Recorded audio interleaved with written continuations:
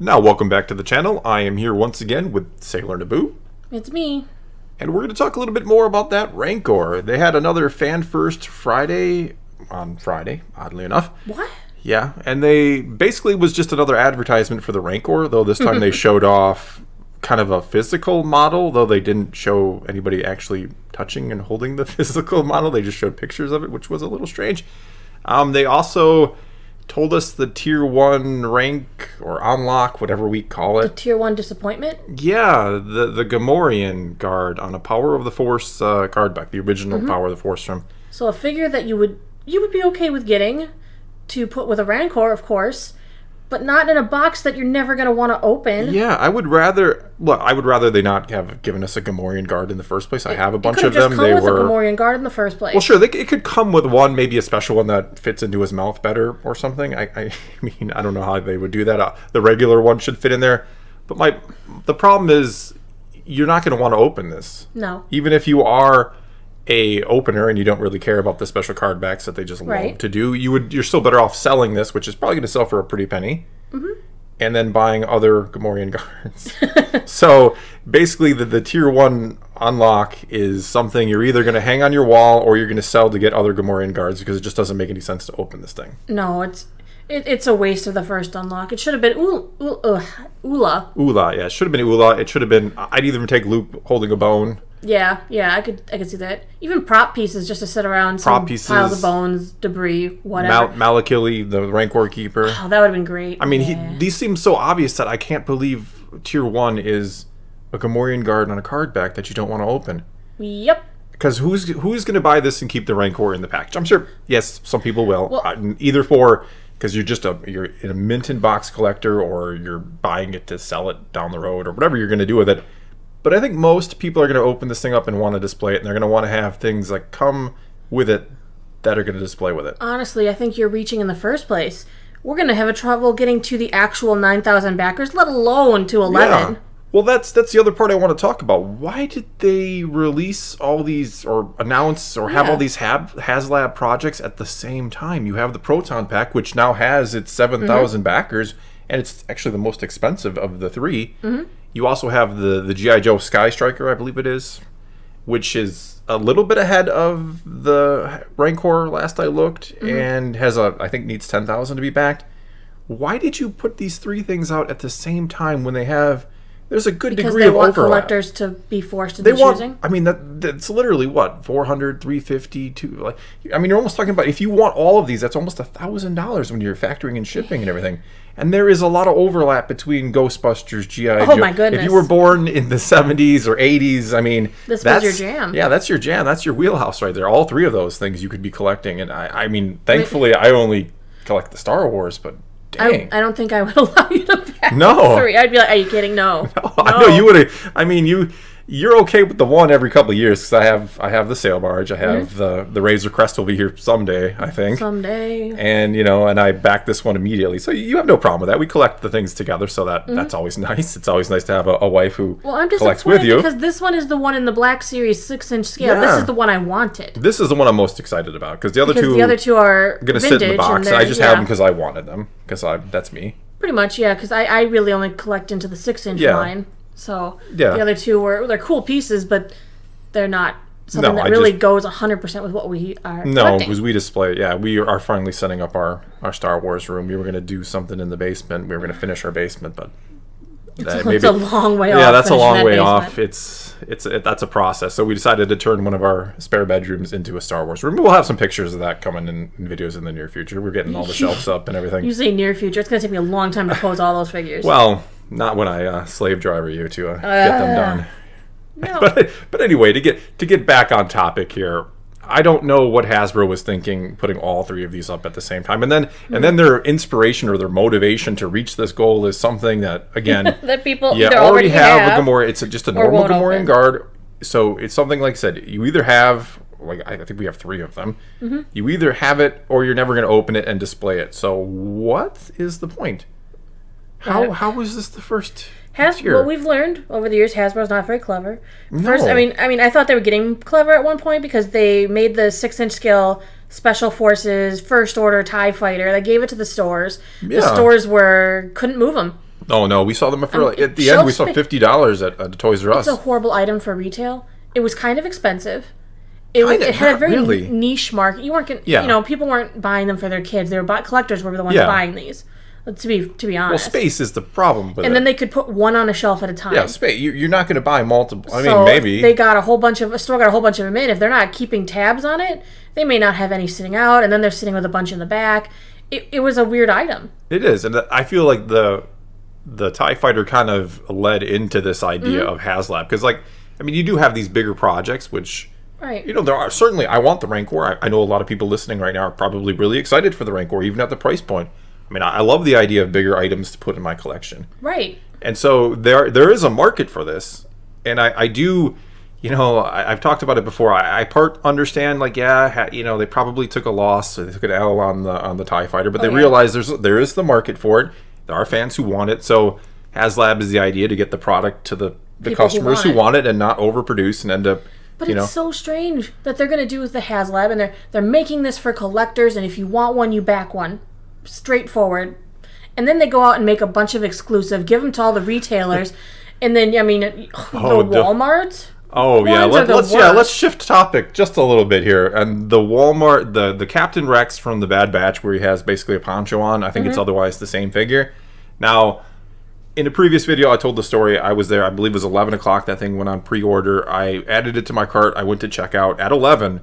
I mean, I was refreshing the page, and within thirty seconds, it was sold out. So now I'm stuck because it's never going to show up in a Walmart. Let's be honest. So now I'm stuck trying to have to get this thing on the the after black market. Let's call it the the scalper market.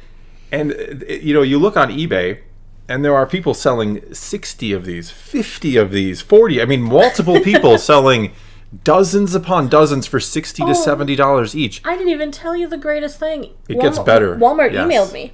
Oh, they do Wal- this to Walmart me too. emailed me because I have an uh, you know account, and they Yes. know I was looking at the item. They emailed me the item you want is back in stock. I got so excited, clicked on it, go to the site, and I'm like, oh, if I want to pay sixty dollars Yes, for it from is- their third parties that they let That sell on their site. Even, yes, that is even better. The Shock Trooper, they keep emailing me. I, I swear I get an email from them every day about the Shock Mm-hmm. Trooper. That is also an exclusive to them.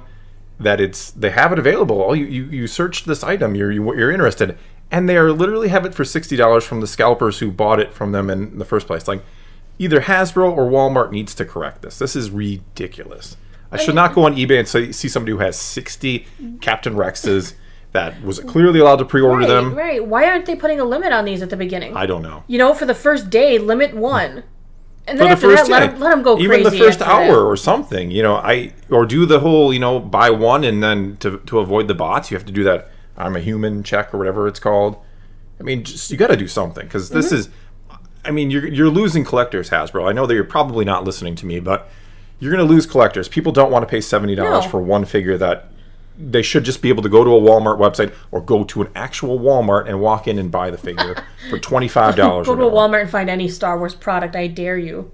No, you're right about that. I think we were one last night. Didn't we go to Walmart last night? Because I'm Yeah. like, maybe by some weird miracle the Rex will be there. If you and so we walked in there and they a- had, a, uh, a Greef Karga in the Black Series, and then one Greef Karga like Black Series. eight Vintage Series Lando, Windows, yeah. and then some product for Grogu. Yeah, some Grogu's. Some yeah. Grogu that was product, not Black Series line. Nope, that was it. That was all they had at Walmart, and that's all they've had at that Walmart for It is. months. It is.